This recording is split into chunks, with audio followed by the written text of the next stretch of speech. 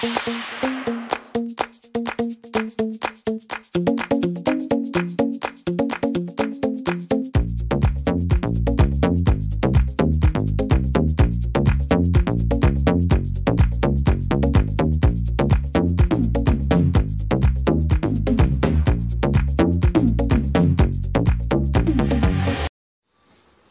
السلام عليكم. مرحبا بكم في القناة ومرحبا بكم في فيديو جديد اليوم إن شاء الله. نقدم لكم وصفة تجميل جديدة. آه هذه الوصفة خاصة بإزالة البقع الشمس اللي كتوجد على البشرة الوجه ديالنا.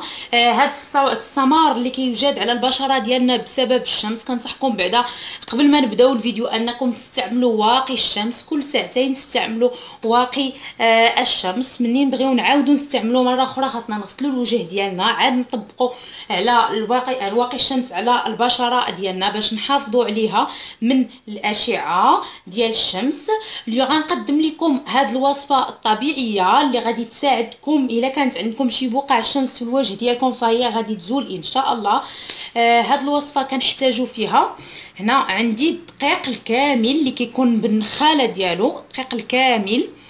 يا إما كتستعملوا الدقيق الكامل إلا ما كانش متوفر عندكم كيمكن لكم تستعملوا دقيق الحمص اللي يعني كان الحمص مطحون اولا كتستعملوا دقيق شوفان أو الخرطال. حتى هو يمكن لكم تستعملوه. وكنحتاجو الحليب. هنا الحليب السائل العادي اللي كنشربوه. غادي نخلطوا هاد الدقيق ديالنا بالحليب حتى كنحصلوا على عجينة. بحال كنعجنوه كنحصلوا على عجين. هذيك العجين فحنا كنطبقوها بعد ما كان طبيعة الحال كنكونوا نظفنا البشرة ديالنا. فحنا كنطبقوا هاد العجين ديال الدقيق مع الحليب على البشرة ديالنا. كنخليوها لواحد المدة ديال 15 دقيقة. من بعد فحنا كنغسلوا الوجه ديالنا بالماء الدافئ وكناخذوا واحد القطن كنديروا فيه ماء الورد وكندوزو على البشرة ديالنا. هاد الوصفة يمكن لكم تستعملوها كل يومين يعني يمكن لكم تستعملوها حتى ثلاثة المرات في الأسبوع فهي غير مضرة للبشرة وغادي تفيدكم. حتى هي كتنعم في نفس الوقت البشرة وغادي تحيد لكم هذيك البقع السوداء اللي كتكون موجودة في البشرة. كنتمنى تجربوا هاد الوصفة وتكون فعالة لكم.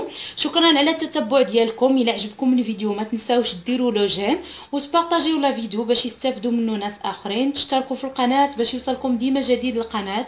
للاطلاع على مزيد من الوصفات زوروا الموقعين شاف مريم com أيضا موقع شهوتي كوم شكرا على التتبع ديالكم. إلى اللقاء إلى حلقة قادمة بإذن الله.